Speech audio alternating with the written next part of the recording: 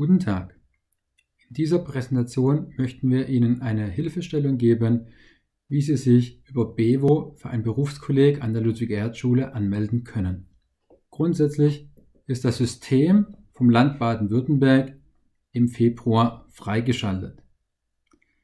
Wie Sie hier sehen, finden Sie das Anmeldeformular über diesen hier eingegebenen Link.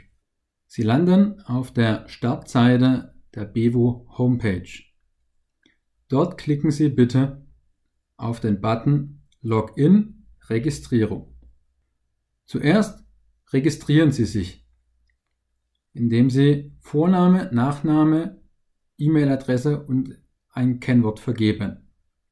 Wenn Sie sich bereits registriert haben, können Sie über Anmelden sich in das System einloggen. Sie müssen, um am Verfahren teilzunehmen, die Datenschutzerklärung akzeptieren sowie sinnvollerweise in den E-Mail-Versand sich einverstanden erklären. Nachdem Sie sich registriert haben, bekommen Sie eine E-Mail, welche Sie bestätigen müssen, dass Ihre E-Mail-Adresse korrekt ist. Deshalb benötigen Sie unbedingt Zugang zu Ihrer E-Mail-Adresse während des Registrierungsverfahrens. Sie geben auf der ersten Seite Ihre vollständigen Bewerberdaten ein. Hierzu zählen Vorname, Nachname, Geschlecht, Geburtsdatum, Geburtsort und Ihre Adresse sowie Telefonnummer. Wenn Sie noch minderjährig sind, müssen Sie zwingend die Felder des Erziehungsberechtigten mit ausfüllen. Im nächsten Schritt müssen Sie Ihre Vorbildung eintragen. Das heißt, Sie tragen bitte Ihre jetzige Schule ein sowie den Schulabschluss, den Sie dort erzielen werden am Ende des Schuljahres. Sie geben Ihre bereits erworbenen Fremdsprachenkenntnisse ein und Sie sollten die Noten in den Hauptfächern des Halbjahreszeugnis hier eintragen. In Einzelfällen haben Sie bereits ein Abschlusszeugnis, dann tragen Sie bitte direkt die Abschlussnoten hier ein. Im nächsten Schritt können Sie Bewerbungsziele auswählen und einfügen. Klicken Sie hierzu auf Bewerbungsziel Suchen. Es erscheint eine Suchmaske, bei der Sie beispielsweise die Ludwig Erdschule Pforzheim eingeben. Sie sehen hier alle möglichen Berufskollegs, die die Ludwig Erdschule anbietet und die Sie über Bevo auswählen können. Sie sehen ebenso, dass nicht alle Berufskollegs aktuell auswählbar sind, da nicht die Voraussetzungen erfüllt wurden. Im vorletzten Schritt sollten Sie die Angaben zu einem früheren Schulbesuch im Berufskolleg ausfüllen.